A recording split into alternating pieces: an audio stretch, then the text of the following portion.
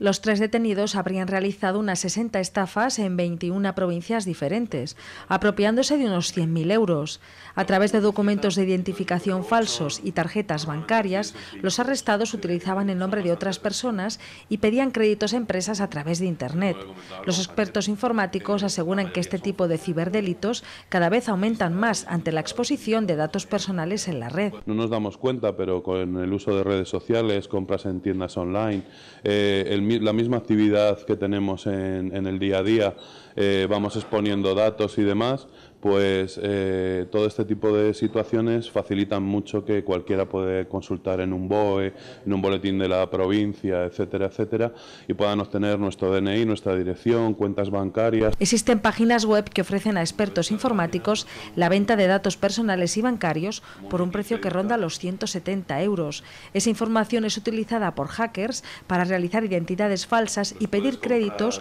o incluso comprar productos de lujo. Hay que mm, ser un poco consciente de que el peligro está ahí, revisar las cuentas bancarias eh,